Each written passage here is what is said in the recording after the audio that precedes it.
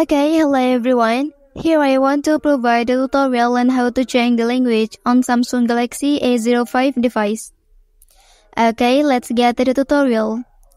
Alright, here you can change the language on your device with the following steps. Firstly, please open the settings menu on your device. And then, here you can scroll down and please select general management option. Well, after that here you can open the language menu. After that, tap on add language here. Okay, and then select the language you want.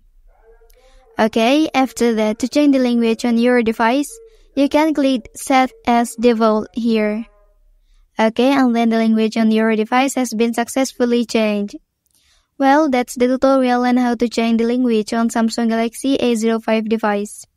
If you are helped by this video, don't forget to like and subscribe to get other information from this channel. Thank you.